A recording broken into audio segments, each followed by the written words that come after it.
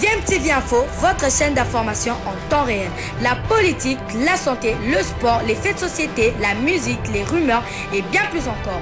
Vous découvrirez cela dans notre chaîne DMTV Info.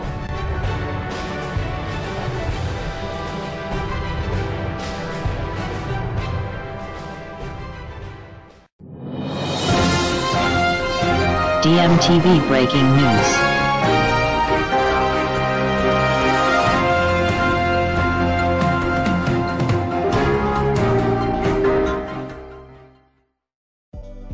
Vous êtes sur DMTV, bonjour ou bonsoir, tout dépend de l'heure à laquelle vous nous suivez. Tout le plaisir est pour nous de vous retrouver et surtout de vous savoir nombreux en train de suivre votre chaîne YouTube DMTV. DMTV qui vous propose l'actualité, mais vous propose également des analyses et des réflexions sur des sujets d'actualité, sur des faits sociaux ou tout simplement sur des insolites, hein, des insolites, des réalités que nous observons chez nous en République démocratique du Congo. Coup dur hein, avant euh, RDC. Euh, Bénin, nous venons d'apprendre que notre international latéral gauche qui s'était blessé, et du reste euh, contre euh, la Tanzanie, hein, Glodingonda, sera absent euh, pendant au moins deux semaines suite à cette blessure-là justement. Donc on est un peu sous le choc, hein, mais bon c'est pas grave, il avait été valablement, il avait été remplacé valablement par Arthur Maswaku, donc voilà, et c'est ça la petite mauvaise nouvelle que nous avons, bon, on, je sais pas entre Maswaku et Nsakala qui aura les, faveurs du, coach euh, Hector Raoul Cooper. Bon, les cas échéants, nous avons aussi une autre solution, c'est celui de Juma Shabani Wadol, qui pourrait très bien dépanner à ce poste-là. Il a déjà fait au sein du FC Renaissance quand il était euh, joueur dans ce club-là, lorsqu'il avait été suspendu. Vous vous souvenez-vous, il avait été suspendu après la Coupe du Congo au Katanga, à Lumbashi, contre le, match contre KFA. Et, ben, Wadol avait été, en tant que capitaine du FC Renaissance, euh, avait été mouillé dans les incidents sur les terrains. Alors, euh, il avait été sanctionné par euh, la FECOFA. Et euh, lorsque cette, suspension a été levée, Waddle avait trouvé un autre joueur qui jouait à son poste, c'était Baïdé Djombe. Baïdé euh, avait très bien remplacé euh, Waddle à ce poste-là, donc Djouba Chabani, il avait très bien remplacé comme back droit. Et donc euh, le, le, coach Franklin Kimbongi là, et son adjoint euh, Daoud Aboupembe, qui du reste est devenu l'adjoint de Hector Raoul Cooper, avait décidé de le placer comme latéral gauche. Qu'elle a déjà occupé ces postes-là au sein du FC Renaissance. Mais nous n'en sommes pas encore là. L'information est juste le, forfait de, de Claudine Gonda, Muzinga, pour euh, ces matchs-là contre le Bénin. Merci quand même à Claudine Gonda parce que c'est grâce à lui que on avait pu ouvrir la marque. Hein. Vous savez, souvenez-vous, il avait fait la passe à Dieu merci Mbokani et Dieu, Dieu merci Mbokani avait isolé Gaël Kakuta sur le flanc droit pour euh, l'ouverture du score en Tanzanie. Et donc voilà.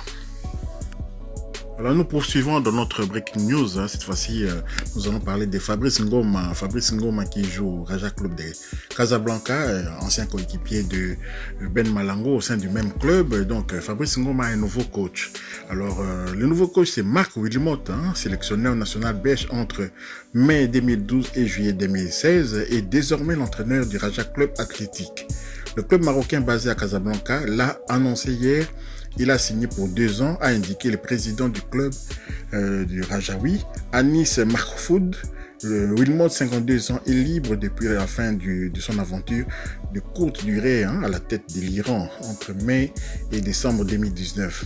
Il succède au Tunisien Lassad Jarda Chebi, remercié après seulement sept mois à son poste. Donc voilà, Marc Wilmot, hein, donc Marc Wilmot, ancien international belge, vous savez, euh, qui a joué la Coupe du Monde, notamment en 2002 au Japon, où la Belgique avait quand même fait bonne figure et était tombé les armes en, en main contre le Brésil. Hein, et Marc Wilmot avait marqué un but tout à fait valable que l'arbitre jamaïcain euh, sans doute complexé hein, du fait que euh, il arbitrait le Brésil. Il ne pouvait pas imaginer que la Belgique pouvait marquer un but contre le Brésil, mais les buts étaient tout à fait valables. Hein. C'est le genre de but euh, du style que Mbokani a marqué au Bénin, vous savez. Donc, quand tu, es costaud, tu es costaud. Hein. Tu, on va pas t'empêcher de marquer de la tête parce que tu es trop puissant par rapport aux défenseurs. Eh ben, il a pris le dessus sur les défenseurs et les buts étaient tout à fait valables. Même aujourd'hui, quand on revoit ça au ralenti, on est persuadé. Donc, Marc Wilmots, quand même, c'est une, une, grande personnalité du football. Hein. Il a été aussi sélectionneur de la Côte d'Ivoire, même si c'était de courte durée. Hein. Mais bon, voilà. Euh, Marc Wilmot est là maintenant au Raja de Casablanca et nous souhaitons euh, bonne chance, évidemment, à Marc Wilmot et également aussi à notre international Fabrice Ngoma qui est un nouveau coach, qui a du vécu et qui va peut-être lui transmettre aussi peut-être euh, son expérience en tant que joueur et puis aussi en tant que coach. Parce qu'il a déjà exercé en Belgique également au sein du club de Saint-Tron. Hein. C'est un ancien, c'est un ancien joueur aussi de Saint-Tron, euh, le natif de Jodogne hein, en Belgique. Donc, euh, il est natif de Jodogne.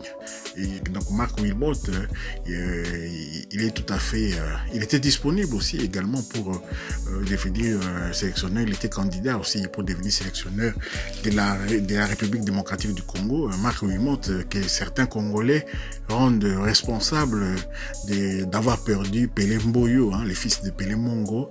Et Marc Wilmot, en, son temps, l'avait fait, euh, il avait aligné hein, avec le Diable Rouge pendant cinq minutes, tu vois, dans les arrêts de jeu.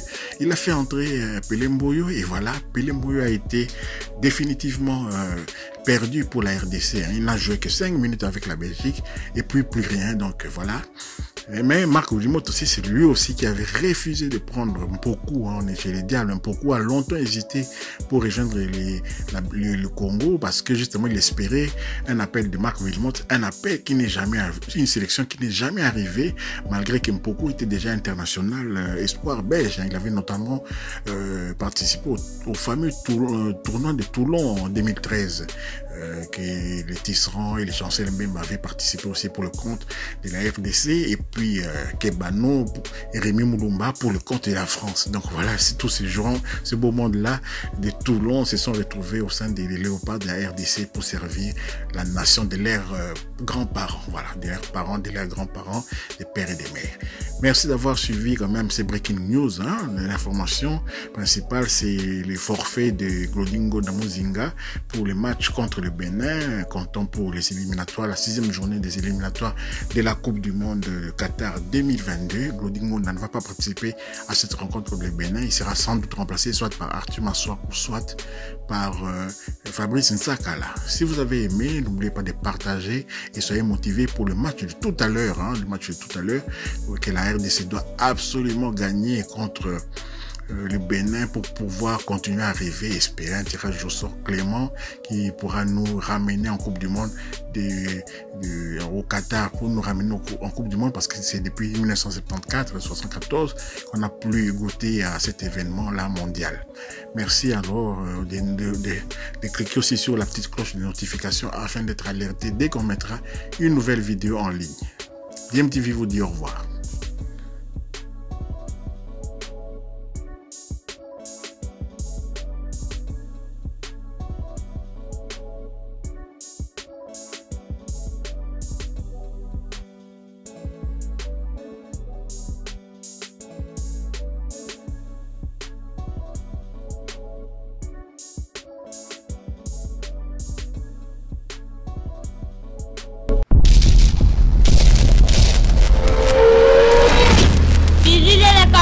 I believe.